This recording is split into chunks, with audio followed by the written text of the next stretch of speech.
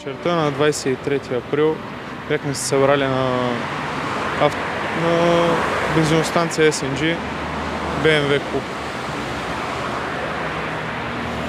Аз бях дошъл вечерта с мотора. Срещахме се с Георги. Ние двамата сме приятели. Всеки ден сме заедно. Бяхме заедно. Дадох му мотора да го покара. Което нали, той тръгна, покара бе, някъде, не знам маршрут, който е, но е идвал от надлез Родопин. Аз в точния момент а, бях на бензиностанцията, но гледах с гръб към мястото на инцидента. В един момент просто нещо ме накара да се обърна. Обърнах се към платното и тогава видях мотора, че е във въздуха.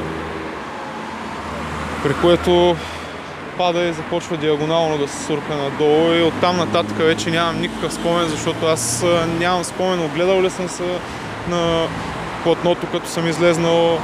Просто търсих да видя Георги къде е в този момент. Тичах към, към него, когато го видях, че лежи на земята, вече не знаех какво се случва.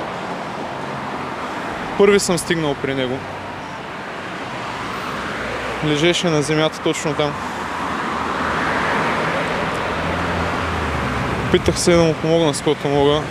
Завъртях го на една страна, не дишаше. Завъртях го на една страна, при което той започна да, да диша тогава.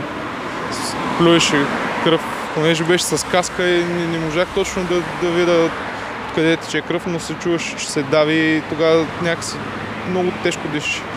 Поред мен, и не само според мен, според всички нас, неговите приятели и роднини, има намеса на автобус.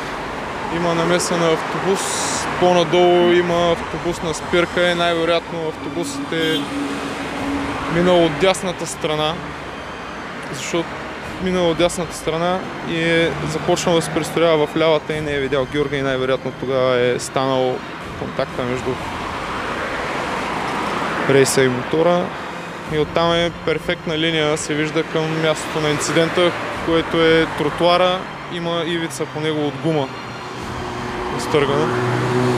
Има 3 метра и половина някъде спирачен път преди тротуара диагонално, което ще рече, че не е имал време за реакция. Първо свидетелите, които са били тук.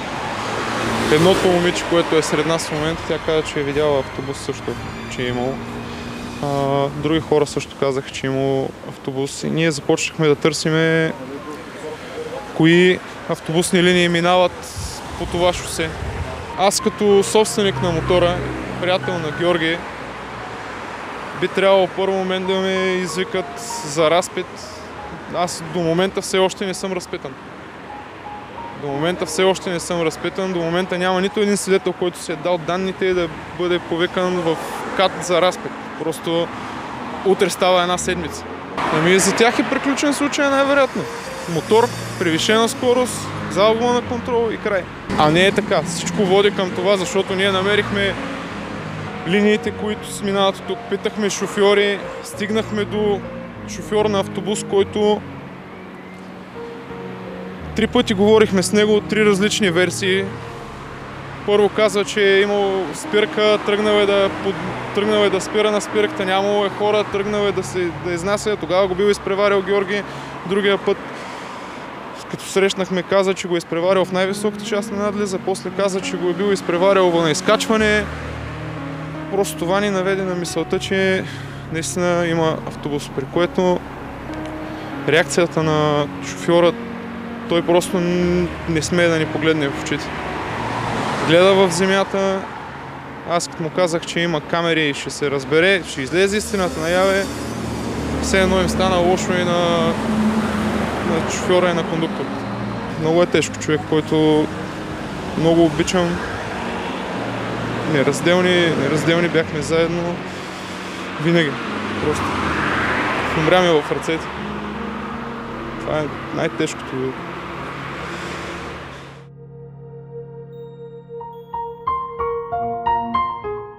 Разследването до този момент не е започнало поради нехайство на човека, който го води.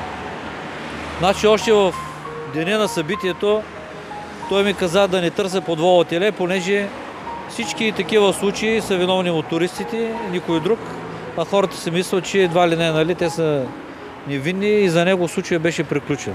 Хората на реда събираха парчетата пластмаса и ги хвърляха в градинката, вместо да ги обозначават с рулетка, да видят кое парче, на какви метри от происшествието е, какво е и така нататък. Мотора са, го предло... са предложили на собственика да си го вземе, защото им пречи и няма къде да го държат. Това е веществено доказателство, което трябва да се задържи за по-нататъчното разследване. Това е направо възмутително за хора, които са държавна институция и трябва да следят за реда в държавата. Аз очаквам от разследващите, просто за мен искам да си изясни самата ситуация. Има ли виновни, няма ли, просто каквото е да се направи. Но за сега при а, толкова свидетели няма нито един разпитан. Доколкото ми е ясно, когато се прави през нощно време разследване, трябва да се направи през деня до втори допълнителен оглед. Такъв оглед не е направен. Ние почнахме сами да си правим разследване, тъй като видяхме, че от тяхна страна няма никакво действие и пълно нехайство. Отидахме в КАТ, не искаха да ни дадат да видим мотора, тъй като те е било, нали, значи в един, в един случай те не искат да го вземат, после като го, когато го прибраха, не искат да ни го покажат. Дознателя каза, че за него от дясна страна няма абсолютно никакъв удар и дръскотинка. Въпреки всичко ние влизнахме в кат, пуснаха без той да разбере. Впоследствие, след като видяхме мотора, той разбра.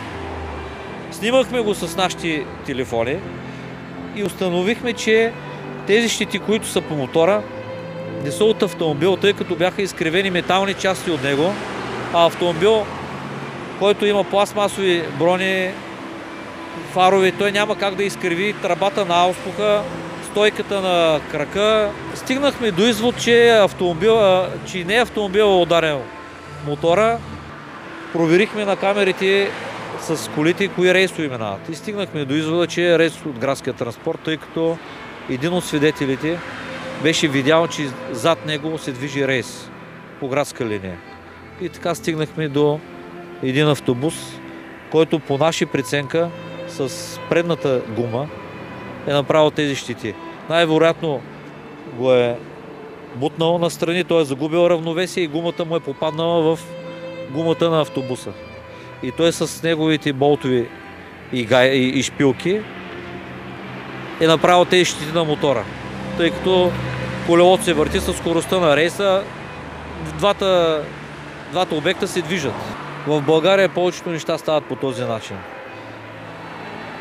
никой не си гледа работата и човек ако не търси помощ от някои други места, никой не му помага и никой не му обръща внимание и почти всички случаи, не, не говоря само за, за нашия, говоря и за други, се гледат по този начин.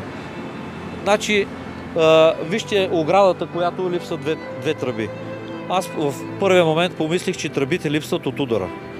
На другия ден, когато отидахме да гледаме, видяхме, че тръбите не са щупени от удара, а са изкъртени, за да могат да минават пешеходците под оградата и на място, където са правени заварките, когато е правена оградата, там има дълбока ръжда. Общината абсолютно не хай. Тези тръби, ако бяха на място, това можеше да нямаш такъв фатален край. А в случая мотора директно отива в носещата тръба на оградата и няма кое да умикоти този удар.